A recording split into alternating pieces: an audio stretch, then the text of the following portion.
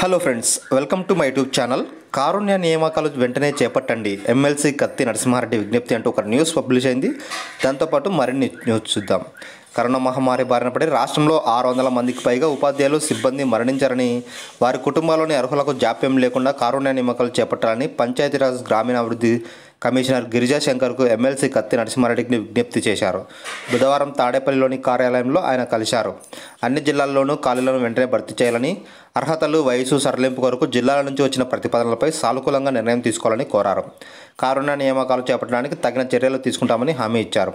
అభిప్రాయాల తర్వాతే విద్యా విధానంపై తుది నిర్ణయం తీసుకోవాలి.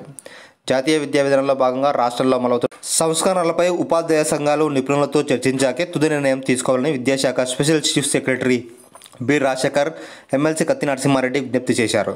బుధవారం స్టేట్ ప్రాజెక్టు డైరెక్టర్ కార్యాలయంలో ఆయన కలిసి పాఠశాలల బలోపేతానికి టీచర్ల కొరత లేకుండా చూడటం అప్గ్రేడ్ అయిన పాఠశాలలు పోస్టులు మంజూరు చేసి భర్తీ చేయడం బోధనేతర సిబ్బందిని నియమించడం బోధనేతర పనులకు ఉపాధ్యాయులను దూరం ఉంచడంతో పాటు ఖాళీగా ఉన్న ఎంఈఓ డిపి డిప్యూటీ డైట్ పోస్టుల భర్తీకి చర్యలు తీసుకోవాలని కోరారు. టీచర్లకు డివిజన్ జిల్లా రాష్ట్ర స్థాయిలో అకాడమిక్ సపోర్టు పూర్తి అందేలా చూడాలన్నారు.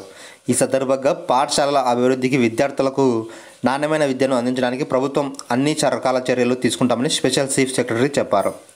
డిఎస్సి క్వాలిఫైడ్ అభ్యర్థులను టీచర్స్గా నియమించడంపై హర్షం ఉమ్మడి ఆంధ్రప్రదేశ్ రాష్ట్రంలో రెండు వేల ఎనిమిది సంవత్సరం డిఎస్సి క్వాలిఫైడ్ అభ్యర్థులు ముఖ్యమంత్రి వైఎస్ జగన్మోహన్ రెడ్డి ప్రభుత్వ టీచర్స్గా నియమించడంపై ఆంధ్రప్రదేశ్ బ్యాక్వర్డ్ క్లాస్ ఫెడరేషన్ రాష్ట్ర అధ్యక్షుడు తమ్మిశెట్టి చక్రవర్తి ఒక ప్రకటనలో హర్షం వ్యక్తం చేశారు.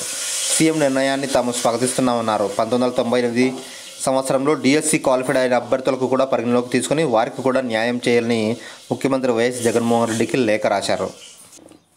జూలై ఐదు నుంచి డిఎడ్ పరీక్షలు జూలై ఐదు నుంచి ఎనిమిదవ తేదీ వరకు diploma in elementary education DElEd పరీక్షలు నిర్వహిస్తున్నట్లు డిఓ తారా సుల్తానా ఒక ప్రకటనలో తెలిపారు. తొలుత ఈ నెల ఇరవై ఒకటి నుంచి ఇరవై నాలుగో తేదీ వరకు డిఎడ్ రెండో సెమిస్టర్ పరీక్షల నిర్వహణకు షెడ్యూల్ జారీ చేయడం జరిగిందని అయితే ప్రభుత్వం కర్ఫ్యూ కొనసాగుతున్న నేపథ్యంలో వాయిదా వేసినట్లు తెలిపారు.